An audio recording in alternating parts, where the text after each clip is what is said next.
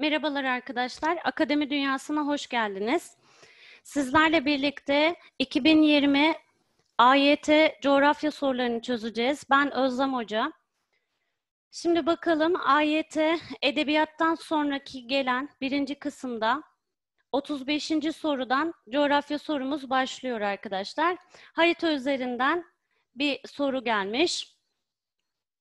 Ee, geçtiğimiz yıl dünyadaki arkadaşlar biyoçeşitlilikten bahsetmişlerdi. Şimdi de Türkiye üzerinden sormuşlar bakın. Diyor ki genel olarak engebenin fazla olduğu alanlarda yağış, sıcaklık, nem gibi iklim elemanları kısa mesafelerde değişiklik gösterdiği için bu alanlarda engebenin az olduğu alanlara göre biyoçeşitliliğin daha zengin olması beklenir. Evet, dağlık alanlarda arkadaşlar kısa mesafelerde değişkenlik gösterdiği için toprak türleri, bitki türleri e, iklim değişkenliği olduğundan e, çeşitlilik gösterir. Bitki coğrafyasına yansır bu. Bizde Karadeniz'de ve Akdeniz'de dağlar kıyıya paralel uzandığı için arkadaşlar bakın özellikle Karadeniz kıyıları ve Toroslar bitki çeşitliliğinin, zenginliğinin fazla olduğu bölgelerdir. E, düz alanlarda ise arkadaşlar değişkenlikten çok az söz edebiliriz. Dolayısıyla bu mantıkla soruya yaklaşmamız gerekir. Haritada numaralandırılan alanların hangilerinde bu nedene bağlı olarak biyoçeşitliliğin daha zengin olduğu söylenebilir.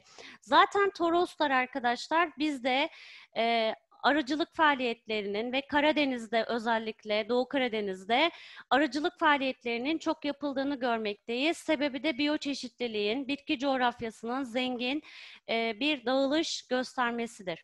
Burada doğru cevabımız 2 ve 4 olmalı arkadaşlar. Sebebi 2'nin Doğu Karadeniz'de, 4'ün yine Toroslar'da o olması.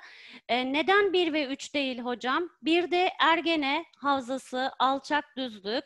3'te Güneydoğu Anadolu bölgesi olduğu için yine düzlük alan olduğundan doğru cevabımız 2 ve 4 olmalı arkadaşlar. Sınavda bu şekilde mantıkla yaklaşan arkadaşım bu soruyu yapmıştır. Evet. Birinci soru bu şekildeydi. Geliyorum ikinci soruma.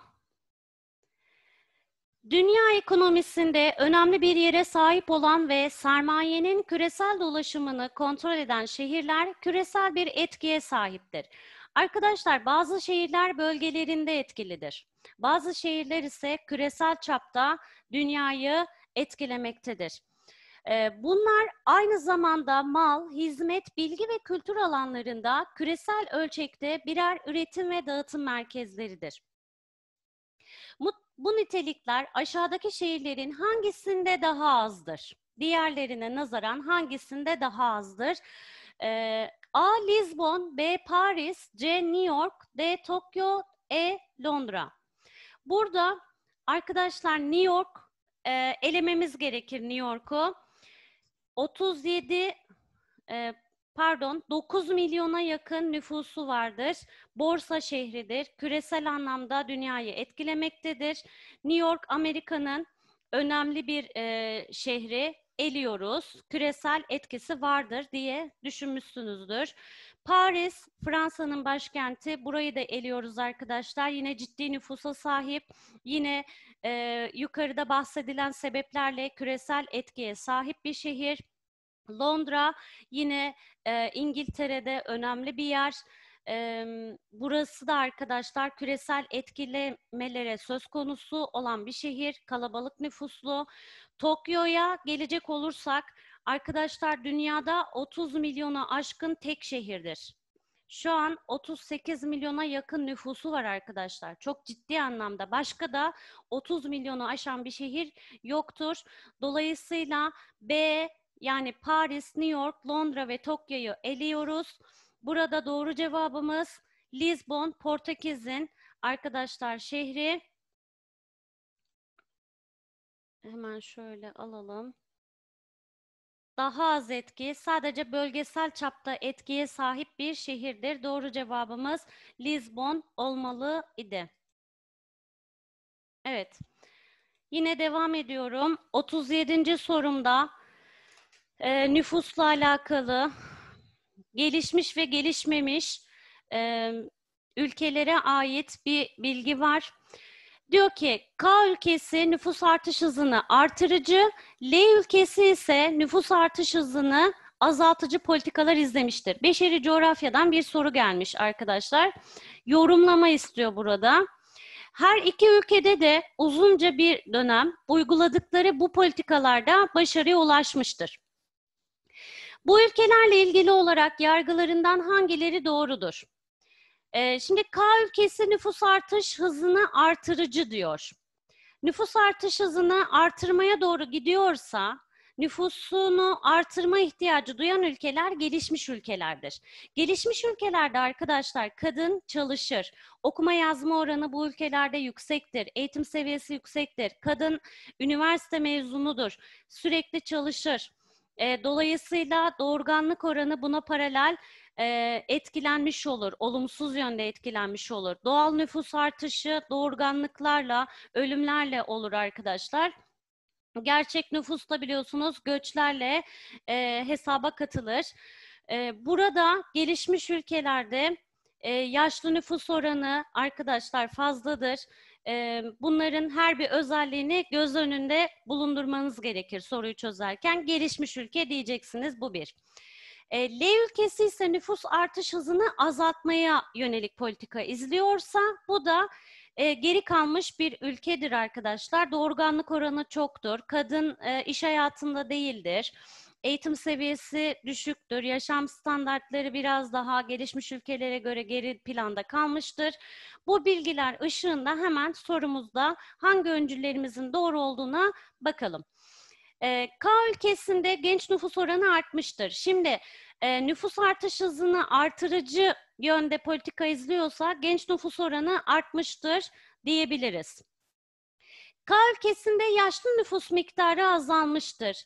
Bunu söyleyemeyiz arkadaşlar. Zaten yaşlı nüfusu vardı gelişmiş ülke olduğu için. Ee, üçüncü öncülde L ülkesinde doğum oranı azalmıştır e, nüfus artış hızını azaltıcı politika izlediğine göre geri kalmış bir ülke olduğundan doğum oranı azalmıştır diyebilir miyiz? Evet bunu da söyleriz. E, yine dördüncü öncülde L ülkesinin genç nüfus oranı artmıştır. E, nüfus artış hızını azaltmaya çalışan politika içerisinde genç nüfus oranı artmaz, azalır. Burada doğru cevabımız arkadaşlar Bursa. Hemen şuradan işaretleyelim. Bursa olmalıydı. 1 ve 3 doğru. Arkadaşlar. Evet bu soru bu mantıkla çözülecekti.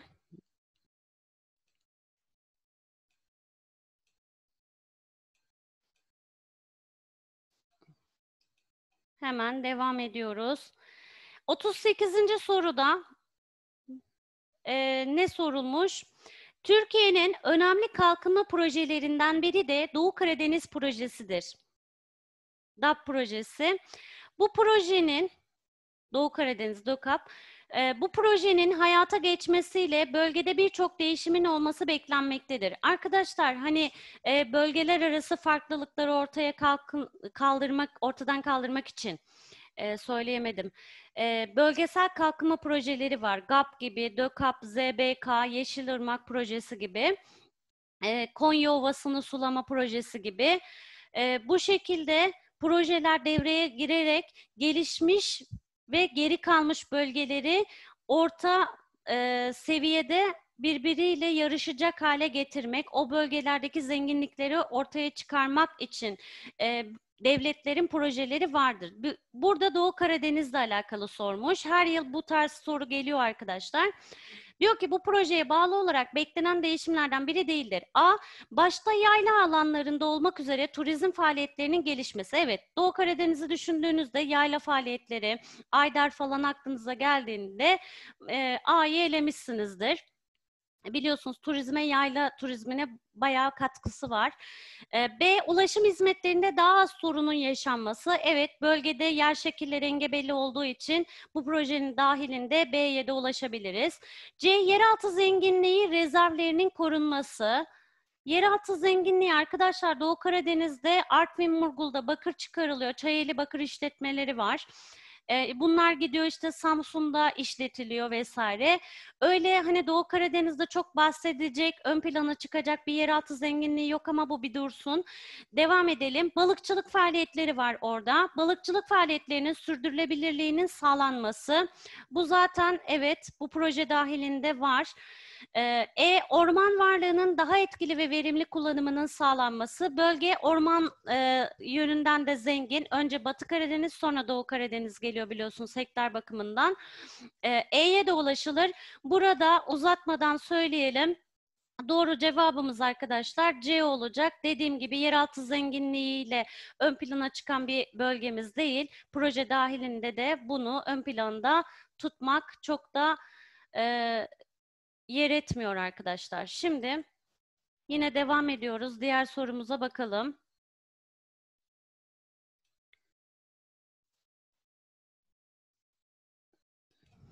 Bakalım diğer sorumuz neymiş?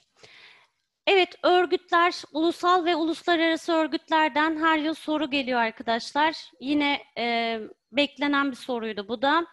Diyor ki bu amaçlar doğrultusunda 1992 yılında İstanbul'da kurulan örgüt aşağıdakilerden hangisidir?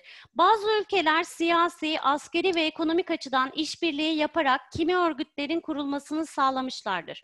Bu örgütlerin bir kısmının ortak amacı üye ülkelerin ticari çıkarlarını korumak, ekonomik, bilimsel ve teknolojik işbirliği yapmaktır. Burada arkadaşlar A İslam İşbirliği Teşkilatı olamaz bahsettiği. 1992'de kurulmadı, İstanbul'da kurulmadı çünkü. 1969'da e, Fas'ta kuruldu. E, daha sonra Cidde'ye taşındı merkezi. İslam İşbirliği'ni eliyoruz burada. Gelişen e, 8 ülke D8. Evet Türkiye'de kuruldu ama bu da arkadaşlar 1992'de kurulmadı. Bunu da eliyoruz. Ekonomik İşbirliği ve Kalkınma Örgütü geçen yıl soruldu. Şimdi de şıklara koymuşlar bakın OECD'yi. Bu zaten değil Avrupa Ekonomik İşbirliği e, Örgütü diye biliyoruz biz bunu. Bunu da eliyoruz. E, D şıkkı Karadeniz Ekonomik İşbirliği Teşkilatı KEİ. Burada Karadeniz'e kıyısı olan ve olmayan sonradan dahil olan e, ülkelerin olduğu bir örgüt. Bahsi geçen 1992 yılında İstanbul'da kurulan bu arkadaşlar.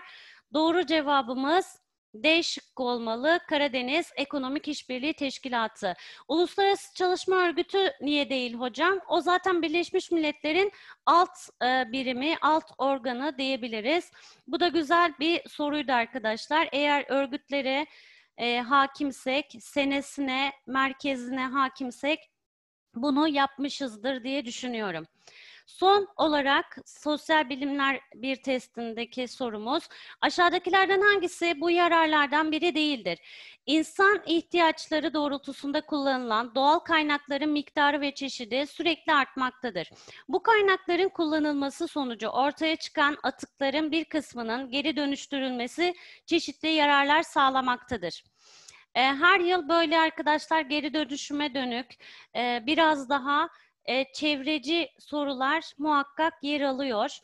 Bu da onlardan bir tanesi. Aşağıdakilerden hangisi bu yararlardan biri değildir diyor.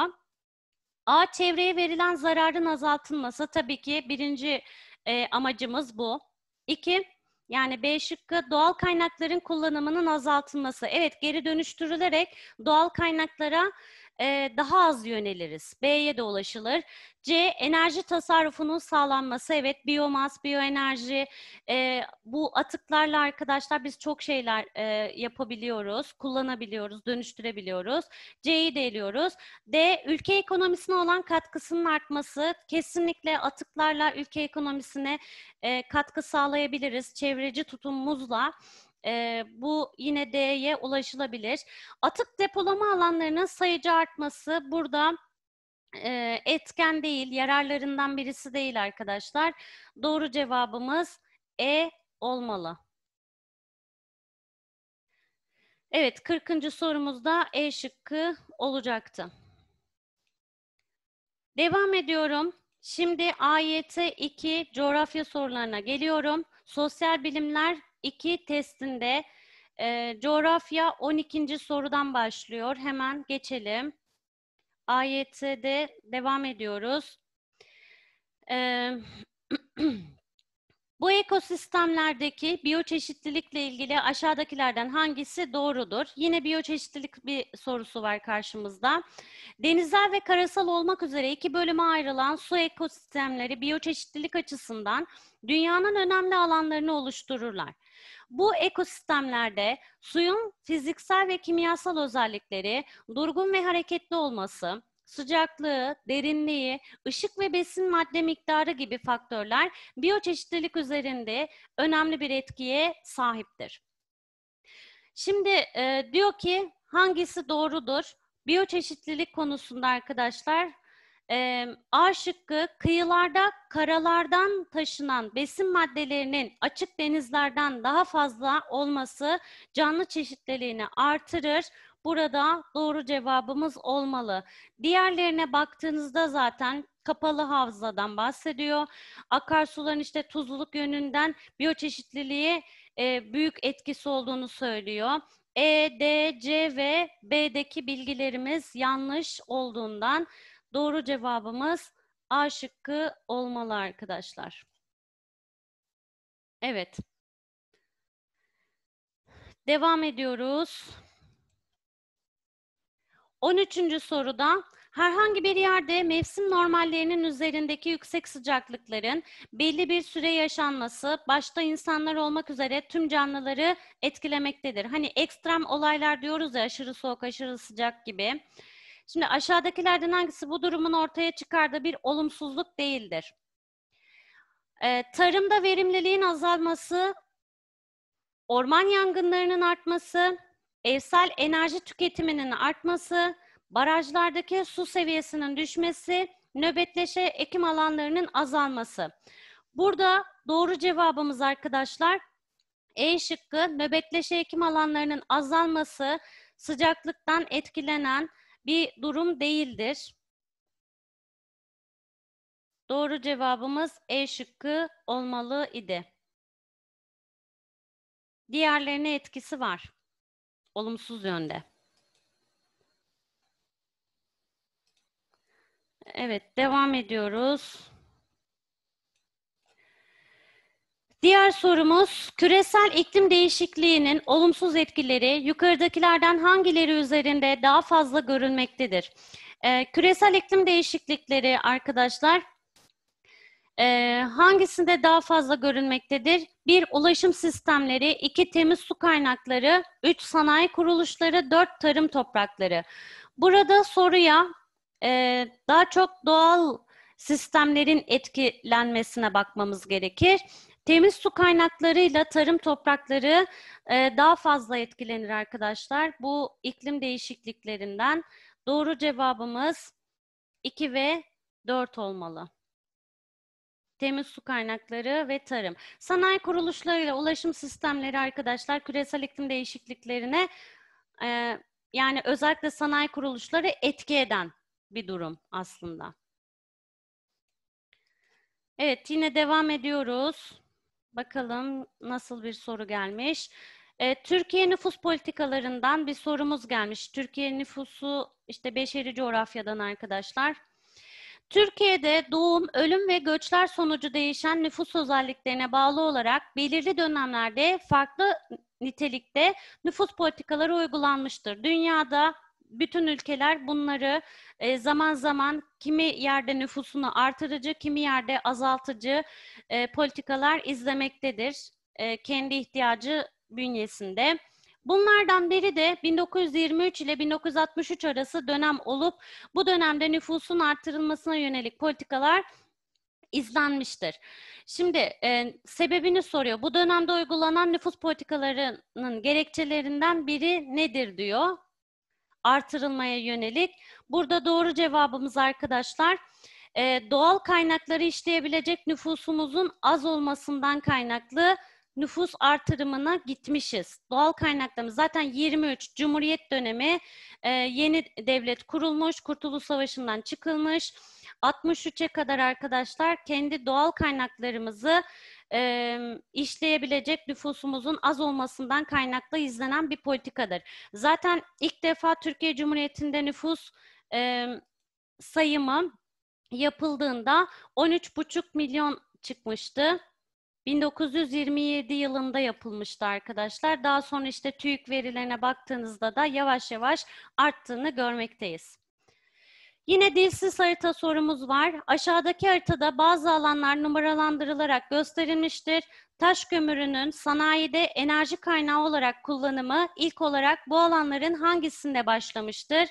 Bir Amerika'nın batı kıyı, doğu kıyıları, e, iki İngiltere, Batı Avrupa diyelim. Üç yine Asya, Orta Asya. Dört Güneydoğu, e, evet Güney Asya, Uzak Doğu. Beş diye göstermişler. Burada doğru cevabımız arkadaşlar ne olmalı? İki numaralı bölgede taş kömürü, enerji zaten sanayinin çıkış noktası biliyorsunuz İngiltere. Ee, buhar gücünü keşfetmesi, taş kömürü, sanayi devrimini başlatan ve ilk tamamlayan ülke sömürge imparatoru idi. Doğru cevabımız Bursa olmalıydı. Evet, devam edelim. Burada yine bir sanayileşme süreciyle alakalı bir sorumuz var. Sanayileşme sürecine bağlı olarak büyüyen şehirlerde durumlarından hangileri ortak özellik gösterir? E, sanayileşmiş şehirlerde neler görürüz? Bir, şehirlere göç hızla artar, köyden kente göç olur. İki, tarımsal üretim artar mı, azalır mı? E, köylerden göç olduğu için bu bir dursun. Ulaşım hizmetlerine talep artar mı? Evet yoğun nüfuslu yerlerde ulaşım hizmetlerine talep artar. Burada doğru cevabımız 1 ve 3 olmalı idi. Yapılabilecek bir soruydu arkadaşlar. Güzel. Sanayileşme süreciyle alakalı sorumuz. Evet devam ediyoruz. Aşağıdakilerden hangisi bu olumsuz sonuçlardan biri değildir? Günümüzde teknolojik gelişmeler, refah düzeyinin artması, ulaşım sektöründeki gelişmeler gibi durumlar turizme katılan insan sayısını artırar, artırarak bu sektörün gelişmesini sağlamıştır. Uluslararası turizmin gelişmesi ülkeler arası etkileşimde önemli bir role sahip olduğu gibi olumsuz bazı sonuçlar da ortaya çıkarabilmektedir. Turizmle alakalı bir sorumuz var genel olarak. E, bu olumsuz sonuç olarak olumsuz sonuçlardan biri değildir diye sormuşlar. A. Geleneksel yaşam biçiminde değişim. Evet. B. Yerel dilin yapısında bozulma. Evet. C. Konukseverliğin yerine ekonomik çıkarların alması olabilir. D. Doğal ve kültürel koruma alanlarının sayısının artması. E. Turizm faaliyetlerinin doğal dengede tahribat oluşturması. Burada doğru cevabımız arkadaşlar D şıkkı olmalıydı. Olumsuz değil bu. Doğal ve kültürel koruma alanlarının sayısının artması olumsuz bir durum değil çünkü. Evet, devam ediyoruz. Hemen 20. sorumuza ge geldik. Sosyal bilimler AYT 2 kısmında. Ekonomik açıdan yeterince kalkınmamış bazı ülkeler çeşitli ham madde kaynaklarına sahip olmalarına rağmen bunları işleyerek mamul maddeye dönüştürecek sanayileri yetersiz olduğu için ihtiyaç duydukları işlenmiş ürünleri diğer ülkelerden satın alırlar. Kalkınmamış bazı ülkelerde görülen bu durum üzerinde aşağıdakilerden hangisinin etkisi daha fazladır? Arkadaşlar A doğal kaynaklarının yetersiz olması demiş. B sahip oldukları nüfus miktarının düşük olması demiş. C teknoloji ve nitelikli insan gücünün yetersiz olması demiş. D ülke yüz ölçümlerinin küçük olması ki çok alakasız. E tarım topraklarının yetersiz olması bu da alakasız. Ee, burada diğer ülkelere ihtiyaç duyma sebepleri C teknoloji ve nitelikli insan gücünün yetersiz olması olarak işaretlenmeliydi ki diğer ülkelere muhtaçlar. Teknoloji e, ve nitelikli insan gücü yetersiz olan ülkeler diğer ülkelerden temin ederler. Evet, 20. sorumuz C şıkkı olarak doğru cevap olarak karşımıza çıkıyor. Yine bir harita sorumuz var. Bakın coğrafyada klas- klasik bir şey.